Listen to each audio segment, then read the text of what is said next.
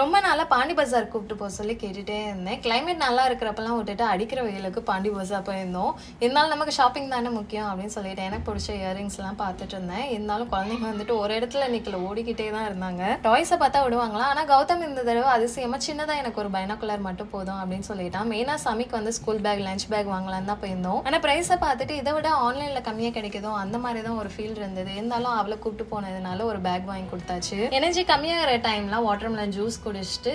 D நகரில் இருந்து அண்ணா நகரில் இருக்க ஈரோடு அம்மன் மெஸ்க்கு தான் போயிருந்தோம் அங்கே எனக்கு சிக்கன் பிரியாணி ரொம்ப பிடிக்கும் ஆனால் குவான்டிட்டி கம்மியாக தான் கொடுப்பாங்க எல்லாருமே ஷேர் பண்ணி சாப்பிட்டு அது கூட சிக்கன் ஃப்ரைட் ரைஸ் கோலா உருண்டை ஃபிஷ் ஃபிங்கர் அண்ட் சிக்கன் பள்ளிப்பாளையமே வாங்கியிருந்தோம் ஃப்ரைட் ரைஸோட டேஸ்ட் மட்டும் ஓகே தான் மற்றபடி எல்லா டிஷ்ஷுமே சூப்பராக இருந்தது